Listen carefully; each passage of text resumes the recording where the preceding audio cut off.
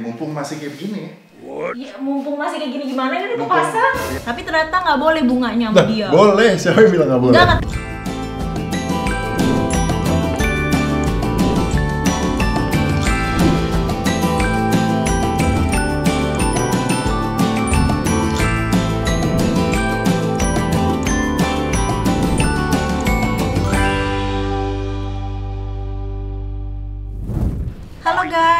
welcome back to our YouTube channel Titi dan Tian di Rumah Impian Titi dan Tian. Kali ini kita akan em, membahas tentang apa saja yang dibongkar saat pembangunan rumah kita. Karena pasti ada satu dua hal yang kita pengen benerin bener nggak yang? Jadi kalau lagi bangun rumah itu ngebongkar itu mungkin bisa terjadi. Jadi ya sebenarnya sesuatu yang nggak boleh terjadi tapi harus dibongkar. Oke, yang pertama dibongkar adalah kamar mandi. Hmm. Kenapa? Karena kita merasa kamar mandinya terlalu gelap. Coba kamu sekarang di sini ngerasa gimana? Terang nggak? Iya. Ya kan rumah kita terang, semuanya putih. Cerah, dan open space. Cerah gitu. Nah, cuman ikut sini. Nah, begitu di kamar tidur kita enak pas, Oh. jadi nggak nggak terlalu panas, nggak terlalu terang. Tapi kalau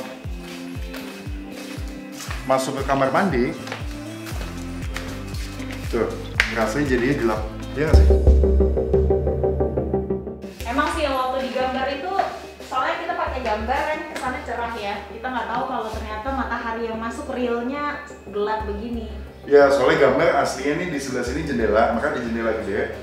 Tapi di sebelah sana itu Kayak nggak ada tembok, kayak tapi lebih kayak lost. Jadi itu, nah cuman pada kenyataannya onsite kita bangunnya agak mepet, sehingga ternyata cahaya matahari kecil, apa eh, nggak maksimal. Terus kamar mandi jadi gelap rasanya.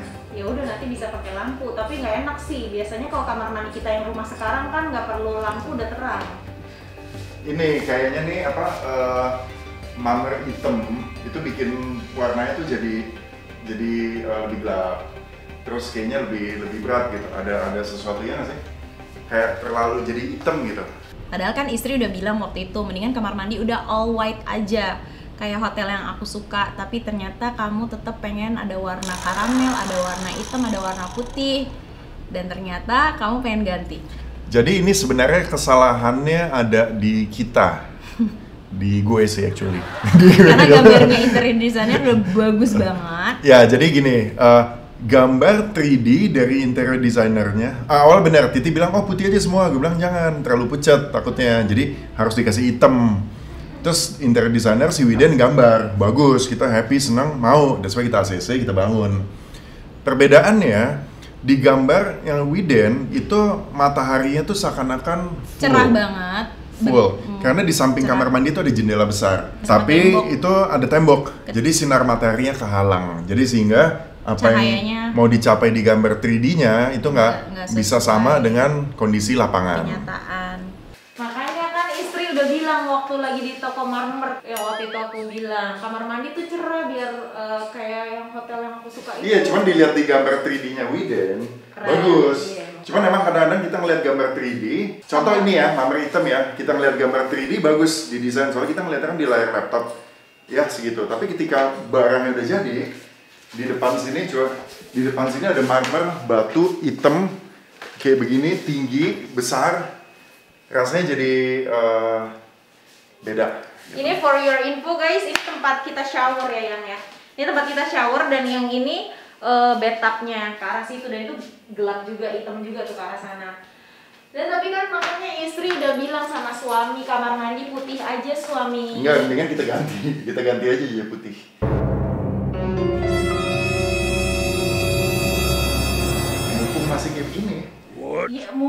kayak gini gimana kan aku Mumpung- pasang ya iya cuman maksudnya mumpung masih proyek Ya, tapi yang ini udah di detail ya, udah udah bener-bener udah rapi banget tuh, udah sampai situ ya tempat sabun segala macam udah ada tuh. Iya, cuman ini bisa, bisa dicopot. Bisa lah. Mau, misalnya diganti putih, jadi warnanya sama. Jadi mungkin sih, kayak lebih, mudah-mudahan jadi lebih, bikin lebih cerah gitu ya, soalnya warnanya putih. Kalau ini nih, sebenarnya bagus. Cuman ada bidang besar warna hitam, tinggi, Kamu serius? berat gitu. serius, emang nggak boros? Ya, cari yang jangan yang mahal. cari yang oke lah gitu. Ini kan buat shower anyway ya, buat shower juga, Nih, buat shower kita. suami ya kalau istri sih senang-senang aja sih Ma- eh, karena emang istri dari dulu pengennya yang putih semua. Jadi kalau mau yang diganti dua, ini satu sama ini. Cuman Yang ini- bawahnya lantainya nggak usah. tapi kata Farah, Jadi ini hitam kamar sama mandi hitam. kalau marmer hitam itu susah dibersihin ya kalau kena air. Betul. Ya, namanya Jadi kamu mau rombak nih. Nggak tahu. Dibongkar. Hitungnya dulu. Jadi kapan selesainya? Aku udah pengen cepet-cepet nih. So, jadi kita putusin, kita lah. Bongkar, dibongkar lagi dan itu bongkar marmer lumayan. Biayanya berapa ya? Biayanya ngabisin dua slab baru. Tapi kan ada yang bagian dalam tuh yang tempat sabun dia agak nambah-nambah Ya. dikit. Ya, dia- Tiga slab, ya betul, sama sisi belakangnya. Dan PR-nya kita adalah kita harus cari lagi slab yang sama yang ternyata katanya sudah diborong ribuan meter sama hotel lain ma- marmernya. Jadi kita harus cari yang mirip-mirip warnanya. Tapi untungnya ketemu sih. Enggak, ini sih cuman Ini. bongkar, pasang. Cuman ya, kalau saya ngomongnya cuman. Tahu nggak guys? Ini dia bongkar ini lagi nih kita kasih tahu yang kamar mandi itu yang. Jadi guys, edisi kali ini kayaknya apa aja yang dibongkar untuk pembangunan rumah Titi dan Tian. Kita kasih tahu ya nih ke BM-an suami yang istri juga seneng sih sebenarnya jadinya keren sih yang. Apa ini sih, yang pertama mana? nih korban pertama kebongkar ini. Dan yang kedua, yang pernah kita bongkar adalah tangga. Alasannya kenapa? Karena alasannya yang pertama tangganya kekecilan. Oh ya, ini tangga udah pernah dibongkar sekali. Tadi awalnya nggak kayak gini, dia pakai apa? Pakai beton. Terus Iya. akhirnya diganti pakai besi, soalnya lebih bagus. Ya kan, lebih bagus, lebih lebih modern. Ini di, dibongkar waktu itu dan apanya gitu ya, selanya ya. Jadi pertama tangganya tuh lebarnya cuma 90. Terus rumahnya besar, stepnya tuh terlalu kecil gitu Kayak buat gua. di servis. Buat gua penting tangga tuh gede kayak jalan. Dan uh, ternyata uh, seiring dengan waktu lebih bagus floating. Iya, sebelumnya nggak floating. sebelumnya beton segala macam. Jadi ini ganti konsep sih basically ganti, konsep. Uh-uh. Ya, Sama yang pokoknya satu gitu lagi lah. sini nih. Ini kamar mandi marmernya dibongkar juga. Yang ketiga adalah powder room. Kenapa yang powder room yang? Jadi ini ada marmer ditempel, terus marmernya di tengahnya dibelah dua. Nah ini marmer bagus ya, ini bagus banget. Awalnya ada satu slab yang sama persis kayak gitu, cuman dipasangnya dibelah, Ini ruang apa yang? dipotong. Padahal ini marmer maksudnya pengennya satu batu utuh ditempel nggak ada belahannya. Pertama dibelah, terus akhirnya suruh ganti satu slab lagi.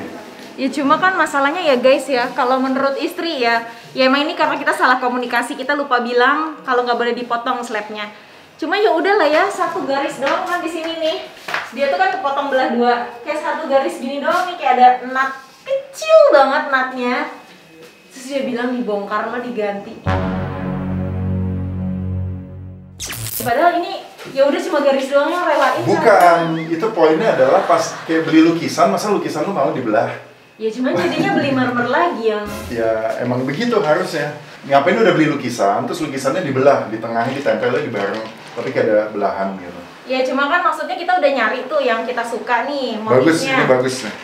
Terus tiba-tiba harus nyari yang emang motifnya sama lagi yang nggak nggak maksudnya bukan sama motifnya yang tetap kayak gitu karena kemarin ternyata pas dikirim ada ya apanya yang katanya yang ada kayak mm, Retakan. Ah, ada retakan jadi emang harus nyari lagi jadi kayak ada satu nut kecil banget yang ganggu yang which is ya ya udah emang ganggu tapi ya udahlah udah keburu beli satu Ya set persis gitu. kayak yang gue bilang di situ, kayak beli lukisan, dibelah sama tukangnya dipajang nih. Ini mah banyak kesel gila. Kayak, aduh gitu. sebenarnya memang Jadi ceritanya begini, kesalahannya di siapa? dua-duanya yang Bukan. kita nggak komunikasiin juga Jadi gini, pas lagi dipasang Gambar 3D interior dari Widen itu ceritanya marmer di kamar mandi sisi dindingnya itu itu book match. Jadi Book match. kita cari marmer yang ke belah Dipotong. empat book match. Jadi diterjemahin ke gambar kerja emang ada potongannya. potong-potong Nah, jadi emang orangnya Ah, kita nggak sempat komunikasi bahwa kita akhirnya milih marmer yang nggak book match, Maunya yang satu, satu keping. heeh. Gambar kerja udah ada di lapangan, tukang kan nggak ngerti, tukang cuma Iya, ngikutin apa yang ada di gambar. kerja, dibelah itu marmer. Saya sih lihat gambar harusnya belah empat mas. Cuman saya belah dua aja gitu. Tuh terus gue bilang aduh tetap salah mas. Harusnya jangan dibelah. Sebenarnya ini pure kesalahan kita bersama karena pertama kita kurang komunikasi. Saling iyalah. Pada saat pemasangan kita juga nggak ada di sana, jadi udah saling memaklumi aja ya gitu. akhirnya satu mamer lagi. Slab maksudnya Dicari satu slab lagi, dan ternyata ya namanya mamer kayak gini ada persis kopian dia kan punya banyak gitu kan. Jadi ya apa eh, tinggal yang next serinya aja next Tapi kan potongan. ternyata ada kayak persis scratch, gambar scratch gitu. Ya, tipis-tipis Jatuhnya nyari lah. lagi. Tapi Bagus. akhirnya jadi yang marmer lama buat apa tuh? buat Buat meja. meja tau nggak korban next bongkar lagi apa Iya. kadang-kadang maksudnya gini eh, lu udah bangun rumah udah hampir 2 tahun terus udah spending banyak tapi untuk hal-hal yang krusial harus kita bongkar kenapa karena jangan sampai kita biarin maksudnya mungkin biaya bongkarnya nggak terlalu signifikan sama apa yang udah kita spend segitu cuman segitu maksudnya cuman gara-gara nggak mau spend segini semuanya jadi hancur jadi Dan, rusak gitu. jadi em, kadang-kadang emang tricky jadi mau nggak mau lu mesti agak lebih berani kalau misalnya ngerasa itu nggak Iya, daripada semuanya ah. daripada jadi ganjelan sih. Iya. Memang sih kita harus kayak tambahin budget lagi, tapi maksudnya eh, daripada nanti jadi nyesel ya yang malah lebih ribet lagi kalau misalnya nanti dibongkarnya pas sudah jadi. Terus mesti eh, gitu. supaya menghindari bongkar membongkar juga kayaknya kalian harus lebih banyak pelajarin eh, gambarnya lebih detail dan disesuaikan sama site asli ya yang ya. Dari segi cahayanya, dari segi apanya semuanya. Jadi supaya kalian nggak nggak ngerasa paling salah- benar sebelum salah ya bangun gitu atau nggak pas mau masang ada di situ ada di situ atau lihat. pas mau masang kayak nggak cocok jadi pasang. Cara motongnya bisa langsung didiskusiin cara apanya aja jadi untuk beberapa hal yang lo pikir penting emang lo harus nongkrongin banget sih guys. Yang selanjutnya kita mau bahas soal gang kecil di samping rumah. Yang kita mau bikin estetik juga buat kayak foto-foto endorse juga. Jadi kita karena work from home banyak bikin-bikin foto endorse kita harus punya spot-spot foto yang menarik juga apakah itu lagi promo baju, promo sepatu, apa aja. Kita mau bikin gang kecil kayak di Eropa gitu ya, yang kayak di toko-toko kayak Chanel, kayak toko-toko gitu tuh yang jadi kecil ada satu doang. pojokan di rumah yang mau kita dandanin gitu kan Iya, kita masih Kira-kira bingung kayak- apa apakah ada tanaman rambat di Iya, samping, pemikiran apakah sih kayak pengen jalan-jalan di Eropa. yang ada kursi taman kecil, Iya, atasnya gitu lah. lampu gitu kan. Iya. Ya kita belum tahu apa, tolong kasih masukan guys. Kita butuh banget masukan yang ini dan tolong mention juga di komen kira-kira bikinnya sama siapa. Bener nggak yang? Kadang kita bingung sama orang landscape atau Sama gimana. arsitek sih kayaknya. Iya, kita belum Harusnya. tahu. Soalnya eksterior. Sebenarnya orang interior bisa kali. Di sini aku pengen ada sedikit gang kecil dan pengen aku karyakan juga buat foto spot kali ya. Kayak di Eropa gitu loh yang tiba-tiba ada kayak kursi tamannya. Terus udah gitu ada lampu-lampu yang gantung gitu. Terus mungkin di situ ada kayak itu kan nyambungnya ke studio ya. Di situ kayak jendela gitu yang lucu gitu. ya mungkin kayak moodnya kayak di kafe-kafe gitu maunya kayak gitu jadi bisa buat spot foto cantik lah buat endorse endorse atau apa gitu dan berikutnya kita mau membahas eh, ngebangun bangunan tambahan yang ternyata kita butuh banget jadi di, di bangunan utama kita nggak sempat kepikiran karena emang space-nya nggak muat Hmm. jadi kita butuh bikin semacam studio kecil jadi bisa buat manggil beberapa bintang tamu kalau misalnya kita nge-youtube ada teman-teman artis atau narasumber gitu yang buat talk show atau Ya. podcast sebenarnya ini digunain buat studio bisa buat foto bisa buat ya mungkin bisa buat endorse endorse juga ya kayak video-video story atau apa. Terus udah gitu bisa buat syuting YouTube juga mungkin kalau misalnya ngundang bintang tamu. Atau mungkin aku bisa nerimain tamu mungkin yang memang gak lama juga gitu ya. Jadi kadang-kadang kita punya tamu, kita nggak ingin tamu itu kita terima.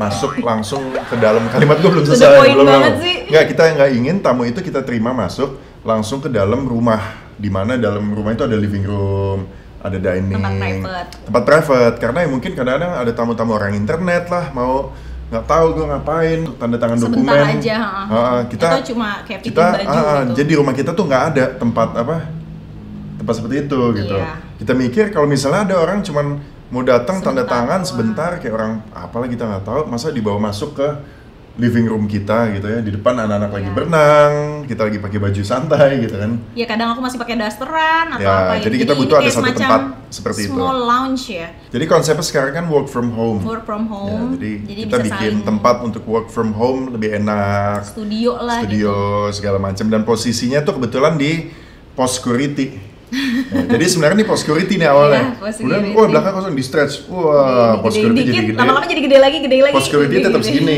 Iya, kitanya di sini. Kita minta nambah. Nah, jadi mau ada kayak dua jendela gitu kanan kiri. Yang ini tuh tadinya rencananya pengen kayak bunga aja gitu loh kayak sebuah cafe di pink yang aku suka bunga yang pink yang bunga artificial ya tapi cantik banget dan di bangunan studio itu kita mau bikin ada sedikit mini bar ya yang jadi kayak bisa buat karyawan kita untuk ngopi juga tapi estetik juga untuk foto endorse Ya pantry, pantry, pantry basically. small pantry Iya. Ini Iya. terlalu feminin nih studionya nih. Gue nggak bisa Tadinya foto dia di situ. pengen nyerahin buat istri semua tuh studio, tapi ternyata dia ikutan. Jadi tadinya bentuknya itu sebelah kiri itu aku pengen kayak ada bunganya kayak kafe-kafe yang lagi hit sekarang tuh ada bunga gitu menarik. Kalau misalnya ada titi tok atau apalah gitu. Tapi ternyata nggak boleh bunganya sama Nah, dia. boleh. Siapa yang bilang nggak boleh? Enggak kata kamu nanti bosen. Oh iya pasti. Terus itu pasti. katanya berdebu nanti bersihinnya. Emang bener sih berdebu, cuma ya rajin aja dipaku. Kalau bosen pasti. Udah berapa kali 10 kali Cuma foto kan di bagus situ. banget ya. Gambarnya backgroundnya lucu. begitu terus. Iya, cuma jadi ciri khas. Tadinya aku mikir gitu. Mis- Tapi ya udah deh, kayaknya bener Tian. Jadi eh, ya udah Tapi gue nggak ngelarang ya, gue ngebebasin. Dia doang yang memutuskan untuk tidak jadi. Gue kalau kata kamu Setelah kamu mendengar serius saran gitu. gue. Ya, emang bener. Ya udah. Kan bilang gitu. Tapi setelah aku pikir-pikir ya udah deh, jadinya putih aja di studio itu. Tapi nanti ganti-ganti aja eh, sesuai musim. Misalnya kayak pengen eh, hiasan properti bunga-bunga mati atau hiasan properti monstera monstera gitu atau apa gitu bisa bisa macem-macem lah temanya gitu. Kemungkinan apa mungkin panel kayu aja panel dinding kayu. Sebelah sini yang sisinya Tian. Sisinya Tian nih eh, putih lebih ke all white. Terus bisa buat kayak ada backdrop backdrop foto gitu jadi bisa untuk foto segala macem. Sama sini bisa buat meeting kali ya. Atau apa mungkin ngedit ya nggak tahu juga sih. Sebelah situ gudang sama kamar mandi. Mudah-mudahan aja nanti hasilnya menarik Oke guys, kita tunggu banget masukan dari kalian. Bagusnya bikinnya sama siapa, dengan gambaran yang tadi ada aku kasih gambarannya seperti apa. Kalau ada masukannya, thank you banget dan mudah-mudahan aja berguna tips dari kita. Sampai ketemu lagi di rumah impian Titi dan Tian. Bye bye.